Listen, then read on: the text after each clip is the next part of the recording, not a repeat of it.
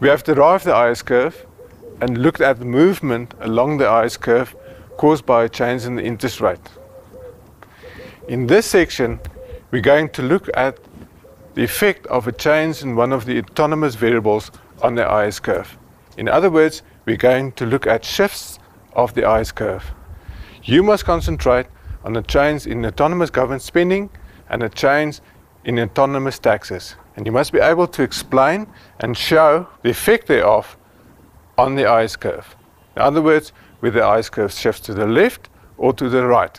It's important that we take with us the difference between a movement along the IS curve caused by a change in the interest rate and a shift of the IS curve caused by a change in autonomous government spending or autonomous taxes.